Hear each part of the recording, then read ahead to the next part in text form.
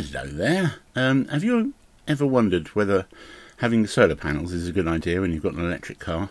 You probably haven't. It's pretty obvious, I guess.